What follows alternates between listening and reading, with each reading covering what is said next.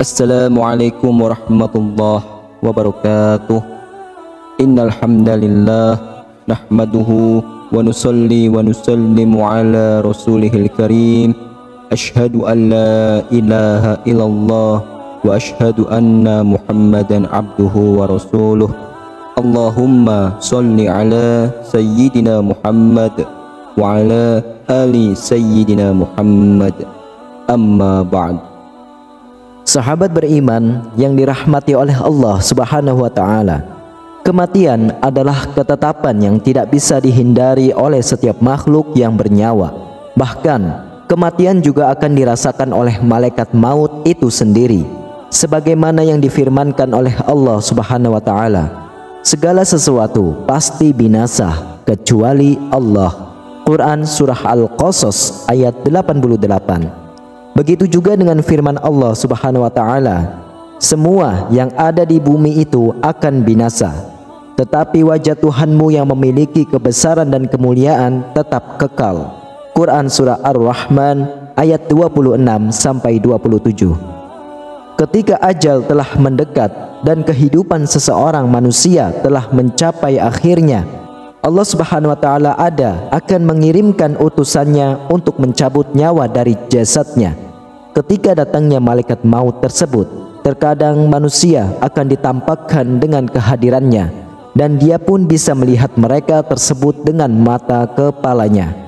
Hal ini mungkin menjadi pertanyaan bagi kita. Kenapa Allah Subhanahu wa taala menampakkan wujud malaikat maut sesaat sebelum manusia dicabut nyawanya? dan bagaimanakah dia melihat wujud malaikat maut tersebut serta apa yang dilakukan oleh setan ketika manusia akan dicabut nyawanya.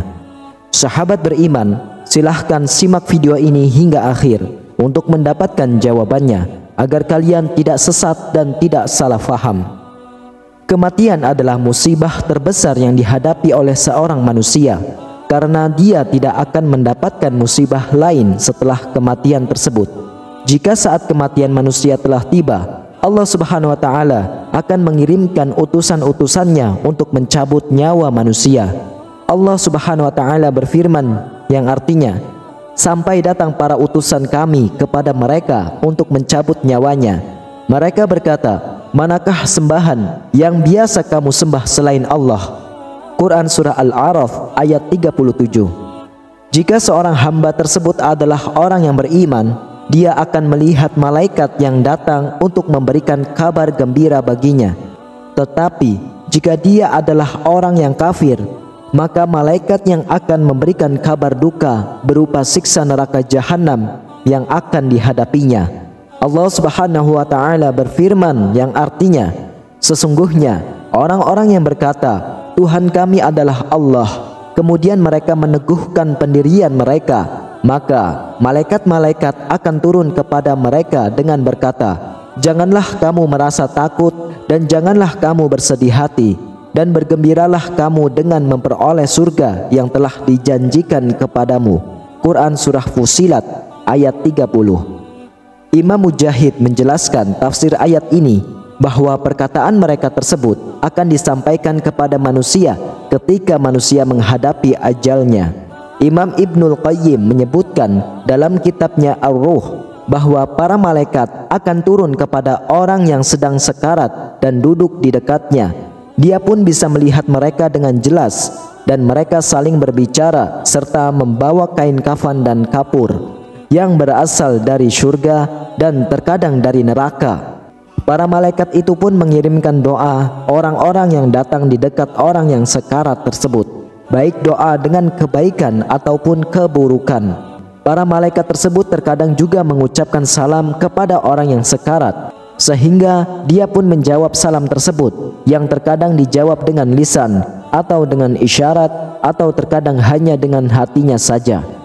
Jika dia tidak mampu untuk berbicara ataupun memberikan isyarat, Imam Ibnu Qayyim berdasarkan pernyataan tersebut dari sebuah hadis sahih di mana Rasulullah Shallallahu Alaihi Wasallam bersabda dalam sebuah hadisnya yang panjang, sesungguhnya seseorang hamba yang beriman apabila dia berada di akhir kehidupan dunianya dan hendak menuju akhirat, yakni saat sakaratul maut, maka turunlah kepadanya malaikat dari langit yang mana wajah mereka putih seolah-olah wajah mereka adalah matahari dan mereka membawa kain kafan dari kafan-kafan surga dan kapur barus dari kapur barus surga dan mereka pun duduk sejauh mata memandang darinya kemudian datanglah malaikat maut kepadanya lalu dia duduk di sisi kepalanya maka dia pun mengatakan wahai jiwa yang baik keluarlah engkau menuju ampunan dari Allah dan juga keridoan darinya maka keluarlah jiwanya seperti mengalirnya air dari tempat minum. Lalu malaikat maut pun mengambilnya.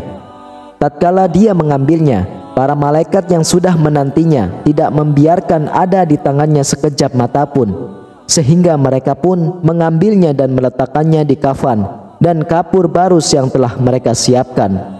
Dan keluarlah darinya bau harum seperti harumnya misik yang paling bagus yang ada di muka bumi. Kemudian mereka pun membawanya naik ke langit dan tidaklah mereka melewati sekumpulan malaikat melainkan para malaikat yang melihatnya akan berkata siapakah ruh yang bagus ini para malaikat yang membawanya itu pun menjawab fulan bin fulan yakni dengan namanya yang paling bagus yang dahulu dia namakan dengannya di dunia sehingga mereka pun sampai di langit dunia lalu mereka pun meminta untuk dibukakan pintu untuknya maka dibukalah untuk mereka. Maka mengikutinya pula dari setiap langit para malaikat yang dekat hingga sampai ke langit yang setelahnya, hingga akhirnya sampai ke langit yang ketujuh. Lalu Allah Subhanahu wa taala berfirman yang artinya, "Tulislah kitab catatan amal hambaku di Iliyin dan kembalikanlah dia ke bumi. Sesungguhnya darinyalah aku menciptakan mereka dan padanyalah aku mengembalikan mereka." Serta darinyalah aku akan mengeluarkan mereka pada kali yang lain.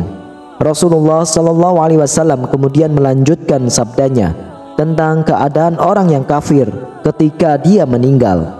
Beliau bersabda, ketika seorang hamba yang kafir apabila dia akan meninggalkan dunia dan menuju akhirat ketika mendekati ajalnya, maka turun kepadanya malaikat yang hitam wajahnya dan mereka membawa kain yang kasar Lalu mereka duduk darinya sejauh mata memandang. Kemudian datanglah malaikat maut hingga dia duduk di sisi kepalanya. Dia pun berkata, Wahai jiwa yang buruk, keluarlah menuju kemurkaan dari Allah dan kemarahannya. Kemudian ruhnya tercerai berai di dalam jasadnya. Lalu malaikat maut menariknya dengan kuat sebagaimana ditariknya besi yang bercabang dari kain wol yang basah.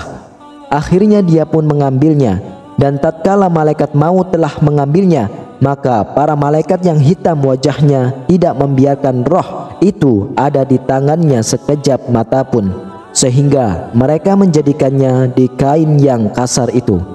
Lalu keluarlah bau busuk seperti bau yang paling busuk yang ada di muka bumi.